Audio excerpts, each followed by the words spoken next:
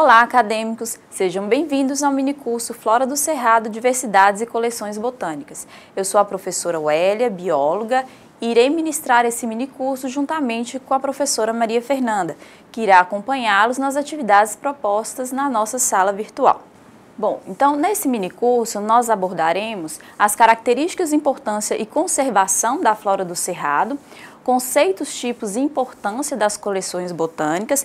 Dentro das coleções botânicas, nós iremos trabalhar especificamente com o herbário, né, falando é, algumas definições e objetivos, e também sobre a coleta e o preparo de material botânico para inclusão em herbário, focando principalmente nas técnicas para a confecção de essicatas.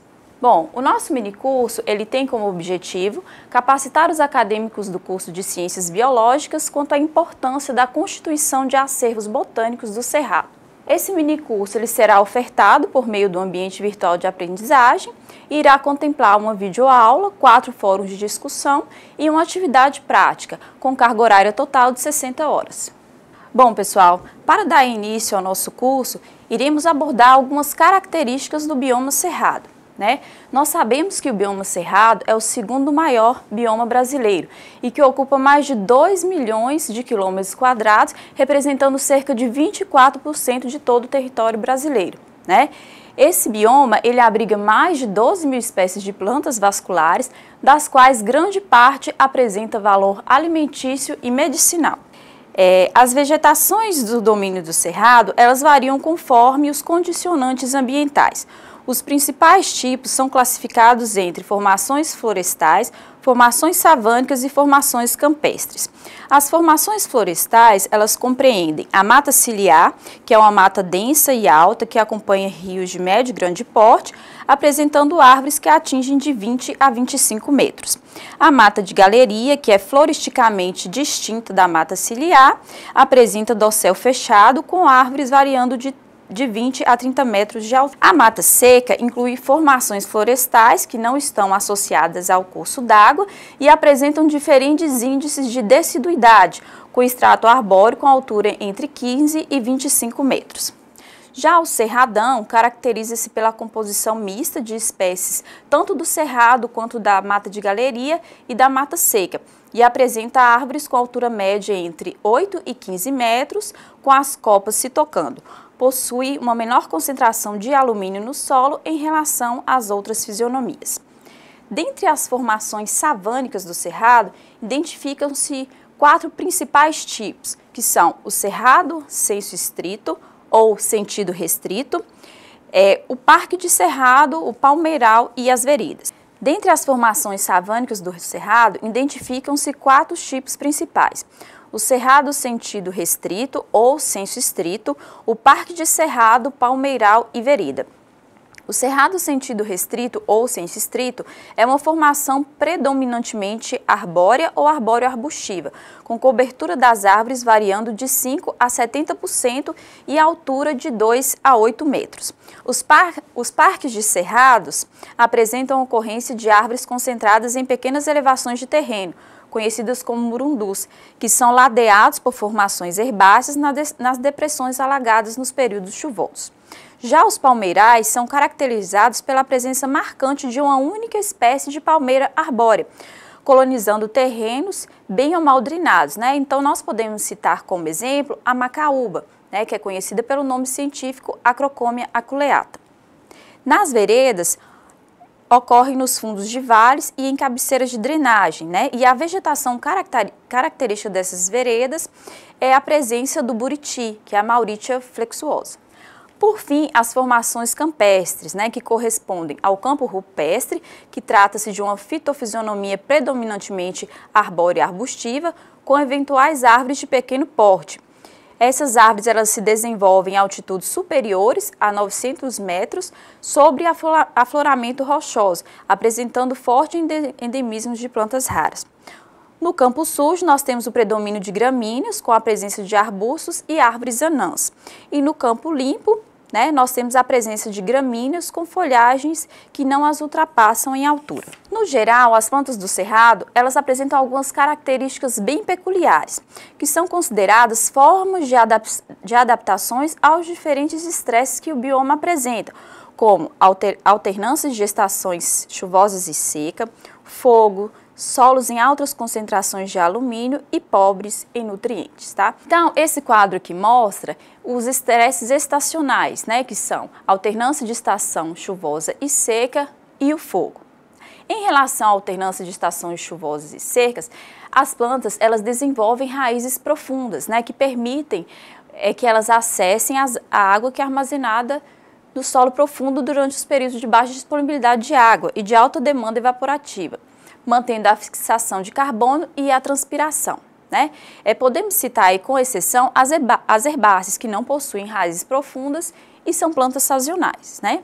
Em relação ao fogo, ele é extremamente importante para o florescimento e para a germinação de parte dessas plantas. Então, esse esquema aqui vai mostrar né, a vegetação do cerrado e o grande de desenvolvimento das raízes de algumas espécies em função da distribuição de água no solo. Né?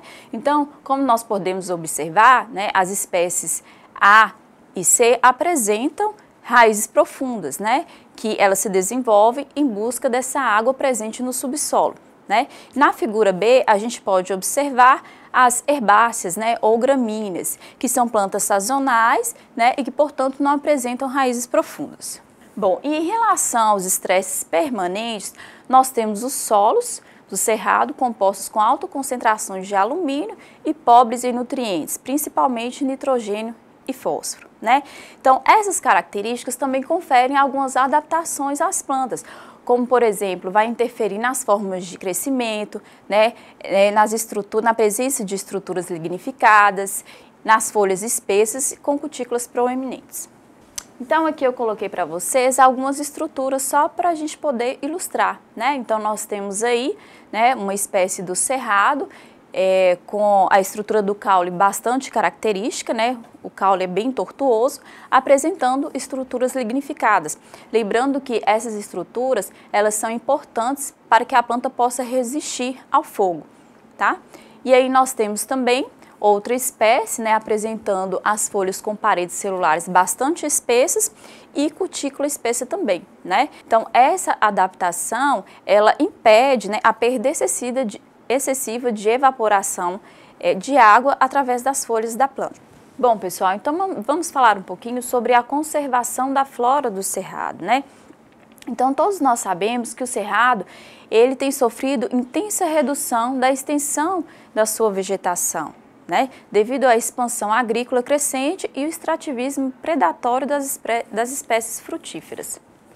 Diante da grande devastação que esse bioma vem sofrendo, torna-se importante, para fins de conservação das espécies, a obtenção de informações ecológicas referentes ao padrão de distribuição dessas espécies arbóreas, estrutura genética de suas populações, grau de erosão genética e fatores determinantes da variação genética das espécies, que são informações importantes que devem ser obtidas de forma a prevenir a extinção das populações das espécies arbóreas do cerrado. A partir da última década, vem se intensificando os estudos genéticos em populações de espécies arbóreas, de florestas tropicais também, né? com amostragens adequadas tanto de populações quanto dentro das populações, além do uso de tecnologias genéticas que são adequadas para auxiliar na quantificação dessa diversidade. Assim, o estudo da estrutura genética de populações pode fornecer informações preciosas para o planejamento e execução de programas de conservação de uma espécie. Algo que também pode auxiliar nesses estudos são as coleções botânicas, né, que é o foco do nosso minicurso, que abrigam os espécimes coletados e as informações associadas para cada indivíduo e para cada população de cada espécie. Né? Essas coleções botânicas, elas são imprescindíveis para o estudo da biodiversidade e fundamentais para pesquisas taxonômicas e também filogenéticas, né? além de subsidiar estudos conservacionistas. Bom, mas o que são coleções botânicas, né? Então, as coleções botânicas, elas podem ser definidas como reuniões ordenadas de vegetais ou de parte deles para fins científicos. Essas coleções elas podem ser de plantas vivas ou mortas devidamente armazenadas. Cada coleção ela vai receber um nome e a sua existência em uma determinada instituição, que pode ser uma instituição de ensino ou pesquisa.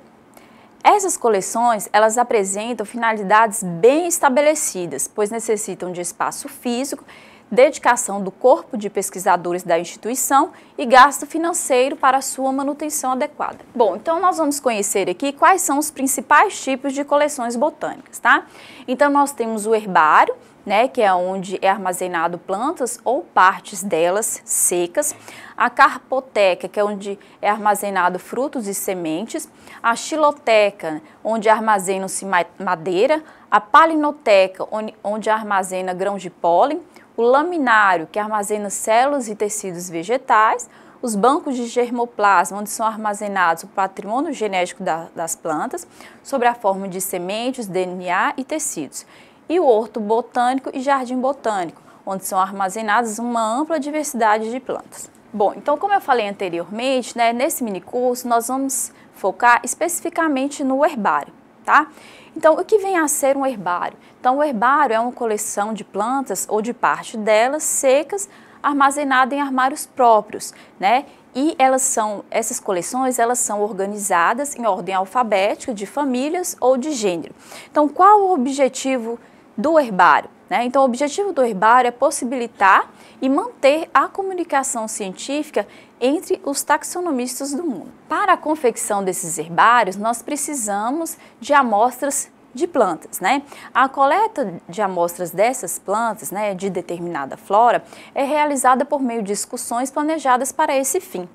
Os principais materiais utilizados em campo para essa coleta são o caderno de coleta, que é onde você irá anotar todas as informações né, que foram observadas ali na planta, tesouras de alpoda e de poda ou facão, que são instrumentos utilizados para coletar as partes das plantas, saco plásticos e fita crepe, né, que são utilizados para o armazenamento desse material botânico, jornal, papelão e prensas, né, que vão ser utilizados para a secagem desse material, GPS para que você possa marcar a planta, né, na qual você está é, coletando material botânico, e máquina fotográfica, né, para que você também possa registrar as características da planta, que irá auxiliar é, na identificação posterior. Para a coleta de material em árvores muito altas, são necessárias, por exemplo, esporas, escadas ou cordas e etc. Bom, então todo esse material coletado para compor o herbário, ele deve estar o mais completo possível, isto é, deve apresentar folhas, flores e frutos. Plantas coletadas apenas com folhas, elas devem ser coletadas novamente com folhas e frutos, por exemplo, em uma próxima estação, né? De forma que a sua representação, ela fique completa na coleção. Se você for fazer a coleta é, de árvores, arbustos e trepadeiras, recomenda-se coletar, quando possível, três ramos de dimensões de 40 centímetros de comprimento e até 25 centímetros de largura. Agora, se você for trabalhar com herbáceas, coleta-se a planta inteira, ou seja, com raiz, caule, flor, folhas e frutos, né? E esses frutos eles podem ser mantidos no material coletado ou, quando muito volumosos, colecionados à parte, né? Eles podem ser colecionados secos ou em solução líquida de álcool 70%. Bom, então como eu falei anteriormente, todo esse material coletado, ele deve ter os seus dados anotados no caderno de campo, tá? Os dados do caderno de campo, eles são extremamente importantes, por quê? Porque posteriormente eles serão transcritos para a etiqueta que vai acompanhar cada espécime na coleção tá? As informações indispensáveis sobre cada espécime coletada, elas são anotadas nesse caderno, ok? E quais são essas, essas informações? O número de coleta, tá? Ou seja, se você coletou a planta, a planta pela primeira vez, coleta 1, um, se coletou pela segunda vez, coleta 2. Tá? E assim por diante. A procedência ou local de coleta, né, onde que essa planta foi coletada, a data da coleta, o nome dos coletores e as observações sobre a planta e algumas informações gerais, né? Quais seriam essas observações? Por exemplo, coloração do fruto, coloração da flor, né, que são características importantes e que podem auxiliar na identificação posterior da espécie. Bom, então após a coleta desse material, ele tem que ser acondicionado né, de forma correta. Né? Então, os exemplares de cada espécime coletado, eles devem ser armazenados com fita crepe, formando um ramalhete. Né? Nessa fita crepe, você deve anotar o número correspondente à planta no caderno de coletas. Esses ramalhetes eles serão acondicionados em sacos plásticos resistentes para serem transportados né, até o local da secagem das plantas. Bom, então depois desse armazenamento, nós vamos proceder à secagem do material orgânico, tá? Então, é, inicialmente, né, nós vamos precisar de superfícies planas e resistentes, né, que são denominadas prensas. Essas prensas, elas geralmente são confeccionadas de madeira, né? É, como o, o, exemplo que mostra, né? É, podem ser quadros de ripas de madeira com dimensão de 42 por 30. Bom, então, como que a gente vai proceder né, à montagem é, desse material? Então, sobre uma dessas superfícies de madeira, apoia-se o papelão, tá? Conforme mostra a figura A. Sobre a faciliza do papelão, apoia-se uma folha de jornal dobrado ao meio, né? E entre a folha, uma cópia do material botânico devidamente identificado com o número de coleta. Tá? Então, depois que você fizer todo esse procedimento, né, você vai unir as duas prensas e vai fazer uma amarração nela, ok? Essa amarração, ela pode ser feita com uma corda ou com um barbante. É, a gente também deve levar em consideração algumas observações importantes sobre o processo de prensagem dessas plantas, tá? Então, as plantas herbáceas que ultrapassam as medidas da prensa, elas devem ser cuidadosamente dobradas em V, N ou W durante o processo de pesagem, de prensagem. Para o processo de secagem das plantas, é importante levar em consideração algumas observações. As plantas herbáceas que ultrapassam as medidas da prensa, elas devem ser cuidadosamente dobradas em V, N ou W durante o processo de prensagem. As flores delicadas, elas devem ser protegidas, né? Envolvidas com lençol de papel ou papel higiênico. E evita-se colocar o jornal, no jornal, mais de uma copa de material botânico. Bom, no momento em que estiver colocando a planta no jornal, ela deve ser manuseada evitando a sobreposição das folhas e flores, né? Porque se houver sobreposição, isso vai dificultar na hora da identificação da espécie, tá? Após a coleta, essas amostras elas podem ser secas ao ar livre, né, à sombra, ou à estufa com circulação de ar a uma temperatura de 35 a 40 graus Celsius por um período de 5 dias. Tá? Então, é possível o manuseio desse material botânico quando ele ainda está úmido. Depois de seco, é impossível qualquer alteração sem danificá-lo, porque a planta ela vai ficar desidratada e muito frágil. Então, aqui eu coloquei para vocês como que a gente vai fazer para fazer a montagem da essicata, né? Então, nós já fizemos a coleta do nosso material. Esse material ele já passou pelo processo de secagem, tá? E agora ele está pronto para que a gente possa montar a nossa essicata né? Então, como que vocês vão fazer? Vocês irão utilizar né, uma cartolina branca nas dimensões de 42 por 29,5, tá? Nessa cartolina branca, vocês irão colar ou costurar né, a parte da planta que foi desidratada. Nessa cartolina, nós também colocaremos uma etiqueta no canto inferior direito, medindo de 12 por 9 centímetros.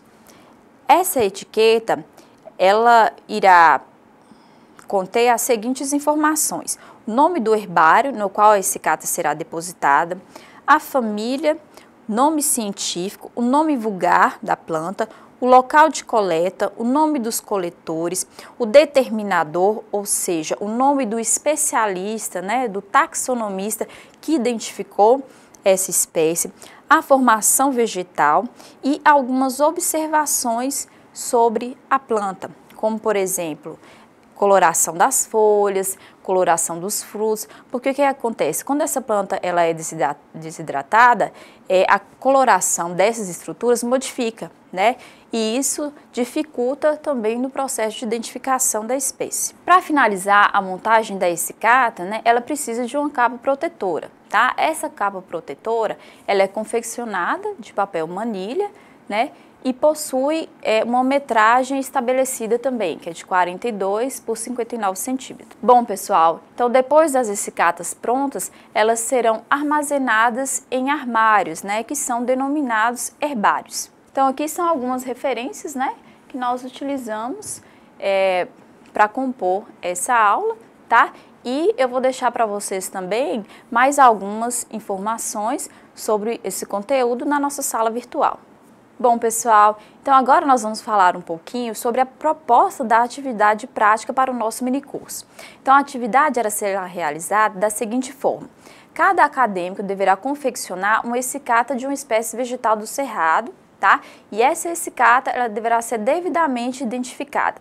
Depois de pronta, vocês irão fotografá-la e irão fazer a postagem na nossa sala virtual. O passo a passo de como realizar a atividade também estará postado na nossa sala, além dos materiais complementares que irão enriquecer ainda mais os seus conhecimentos sobre os assuntos que foram abordados até aqui. Tá? Desde já gostaria de agradecer vocês pela atenção e conto com a participação de todos no nosso minicurso. Obrigada e até mais!